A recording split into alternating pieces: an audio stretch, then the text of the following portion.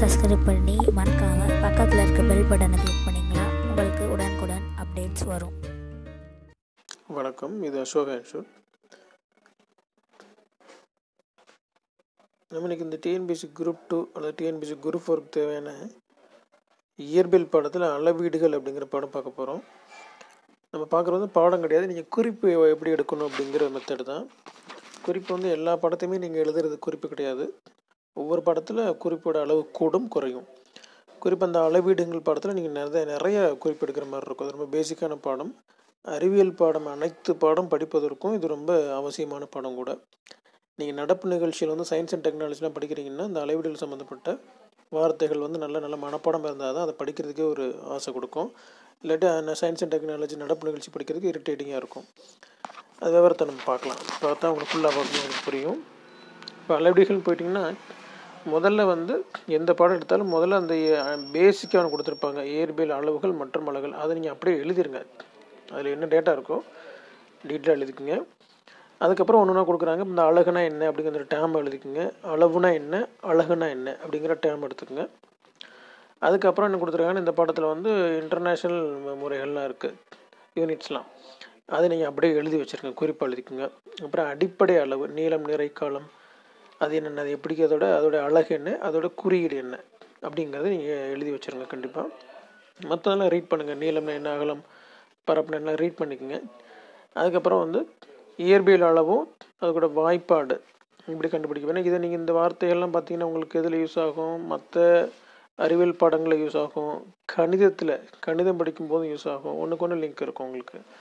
புவியியல் பாடம் படிக்கும்போதும் இந்த உங்களுக்கு வந்து வானியல் ஆண்டு அதனால் அந்த மெஷர்மெண்ட்டு யூஸ் ஆகும். அப்போ நீங்கள் இந்த இயற்பியல் அளவையும் வாய்ப்பாடு அழகு எழுதி மனப்பாடம் மெமரி பண்ணிட்டு தான் நீங்கள் அறிவியல் மற்ற பாடங்களுக்குள்ளே நுழையணும்.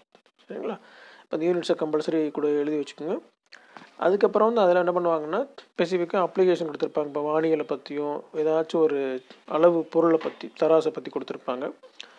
அதோட நீங்கள் டீட்டெயிலாக ஃபுல்லாக படிக்க தேவையில்லை. அந்த வானியல் அழகோ அல்லது இயற்பியல் தராசுன்னு கொடுத்துருப்பாங்க. அல்லது திருகளவியம்னு வரும். அதோடய ஸ்கேல் சம்மந்தப்பட்டது என்ன மெஷர்மெண்ட்டு அதை மட்டும் குறிப்பிடுங்க போதும். அது ஒரு மாதிரி ரீடும் பண்ணிக்கோங்க. அதுக்கடுத்து பார்த்தீங்கன்னா வேறு வெப்பநிலை அந்த மாதிரிலாம் கொடுத்துருப்பாங்களே அதோடைய அடிப்படை அளவு மட்டும் அழகுகளை மட்டும் எழுதி வச்சுங்க போதுமானது.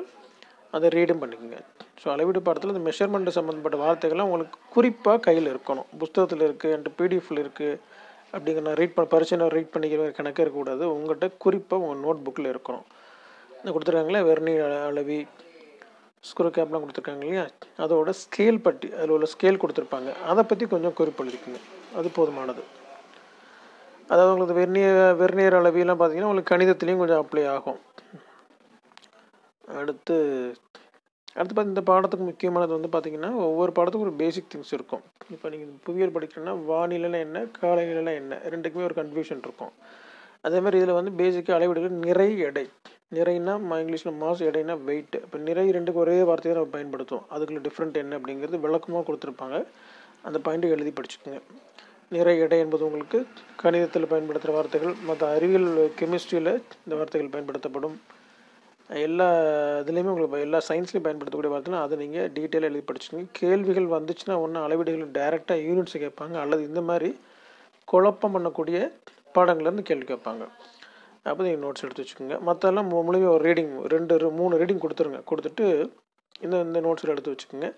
அப்புறம் நிறை எடை சம்மந்தப்பட்ட வானிலை சம்மந்தப்பட்ட சின்ன சின்ன கணக்கு இருந்தால் அங்கே ஸ்பாட்லேயே அதை எழுதி எழுதி வச்சுருங்க. ஏன்னா கணக்கு பொறுத்த வரைக்கும் இயற்பியலேருந்து கணக்கு கேட்டாங்கன்னா நேரடியாக புக்கில் உள்ள கணக்கே கேட்டுருவாங்க.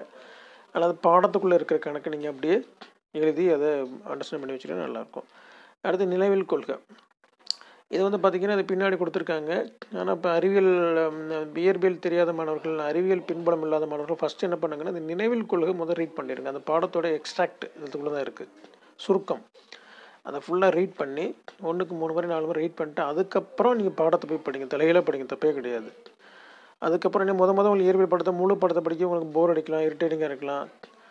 டைம் உங்களுக்கு ஸ்பெண்ட் பண்ணுறது கொஞ்சம் போர் அடிக்கும் போது நிலவில் கொள்கைங்கிறது மொத்த பாடத்தோட சுருக்கம் தான் அது. ஒரு மூணு முறை நாலு முறை படிச்சுட்டு அதுக்கப்புறம் பாடத்தலைப்புகளை ரீட் பண்ணும்போது இன்னும் கொஞ்சம் உங்களுக்கு அதில் இன்வால்மெண்ட் வரலாம். அந்த மாதிரி கூட நீங்கள் பயன்படுத்திக்கோங்க. அது போக இந்த நினைவில் கொள்கைங்கிற விஷயத்தை வந்து நீங்கள் ஃபுல்லாக என்ன பண்ணுங்கள் நோட்ஸாகவும் எழுதிடுங்க ஒவ்வொரு பாடத்துக்கு பின்னாடியும் ஒவ்வொரு லெசனுக்கு பின்னாடியும் அந்த கொடுத்துருக்காங்க. நினைவில் கொள் கொடுத்துருக்காங்களே அதை நீங்கள் நோட்ஸாகவும் எடுத்து வைக்கிற நல்லது.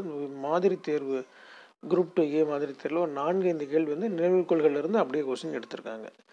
அது அடுத்தடுத்த லெசன் உங்களுக்கு வந்து இந்த குறிப்பெடுக்கும் நம்ம இந்த வீடியோ போடும்போது எந்த நினைவில் கொள்கையில் எந்த கேள்வி எடுத்திருக்காங்க உங்களுக்கு சொல்கிறேன் அதுக்கப்புறம் பார்த்தீங்கன்னா இப்போ என்ன சொல்லடைவும் கொடுத்துருக்காங்க. அதில் அந்த அந்த கேள்வி நாம்பியர் மோல் இந்த வெப்பநிலை படிச்சிங்க அந்த வெப்பநிலை தொடர்புடைய எடை தொடர்புடைய நிறை தொடர்புடைய அடுத்தடுத்து சின்ன சின்ன யூனிட்ஸ்லாம் இருக்குல்ல அதை பற்றி விளக்கம் கொடுத்துருங்க. அதை கண்டிப்பாக நீங்கள் நோட்ஸ் எடுத்து வச்சுக்கிறது நல்லது. கேள்வி கெல்வின் உங்களுக்கு மோல்லாம் வந்து வேதியியலில் பயன்படக்கூட வார்த்தைகள். கிலோகிராம் வந்து எல்லா கண கணிதத்துலேருந்து எல்லாம் பயன்படுத்துகிற மீட்ரு வந்து கணிதத்தில் பயன்படுத்துகிற விளக்கம். அதெல்லாம் தெரிஞ்சு வச்சுக்கோங்க இந்த மாதிரி குறிப்பெடுப்பதில் வந்து உங்களுக்கு அடுத்தடுத்த வீடியோவில் எல்லா பாடத்துலையுமே எது எது குறிப்பெடுக்கணும்னு போடுறேன். குறிப்பாக வந்து குறிப்பு வந்து உங்களுக்கு வந்து என்ன எவ்வளோ ரீட் பண்ணாலும் கொஞ்சம் தான் குறிப்பெடுக்கிற மாதிரி இருக்கும். இந்த அளவீடுகளை பொறுத்த வரைக்கும் அதிகமான குறிப்புகள் வருது எடுத்துக்கோங்க. மற்ற படங்களில் எந்த அளவுக்கு ஒரு சில அறிவியல் பாடம் எடுத்திங்கன்னா உங்களுக்கு குறைவாக தான் குறிப்பு எடுக்கும் நிறைய ரீட் பண்ண வேண்டியிருக்கும் புரிஞ்சுக்கிற வேண்டியிருக்கும் குறிப்பு கம்மியாக இருக்கும். சில படங்கள் குறிப்பு அதிகமாக எடுக்க வேண்டியிருக்கும். அதனால் உங்களுக்கு ஒவ்வொரு லெசன் பை லெசனாகவே நம்ம வீடியோவை கொடுத்துடலாம். நன்றி வணக்கம்.